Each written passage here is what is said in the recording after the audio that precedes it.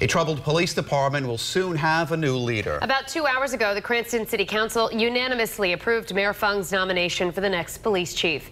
Eyewitness News has live coverage of this story we've been tracking for months now. Eyewitness News reporter Kelly Sullivan is live in Cranston with more on what it means for the Cranston Police Department. Well, for the last nine months, the Cranston Police Department has been under the leadership of Rhode Island State Police, but starting October 1st, a new police chief will be walking through these doors. For 24 years, Lieutenant Colonel Michael Winquist worked his way up state police ranks to become number two in command.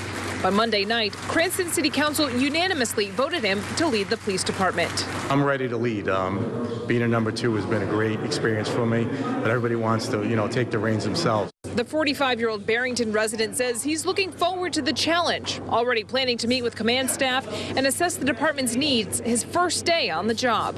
My expectations is everyone to work together uh, in a unified fashion, and I think, um, you know, in the past administrations or past leadership, maybe there was issues regarding that. With the department's ongoing parking ticket scandal and a captain's lawsuit against the city, Mayor Allan Fung believes his nomination will bring a fresh perspective. It's a step in a new direction, and it's a benefit to taxpayers, and it's a step to, you know, unite the department and continue their good work on behalf of the taxpayers.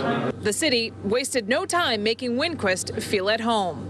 Good luck, and I would also urge you, if, if you uh, need something, you know, come and ask us for it we might even give it to you. Thank you, Councilman. Now, Winquist will be making $13,000 more than his predecessor, but he won't be taking benefits. That saves the city $28,000. Reporting live in Cranston with the West Bay Mobile Newsroom, Kelly Sullivan, Eyewitness News.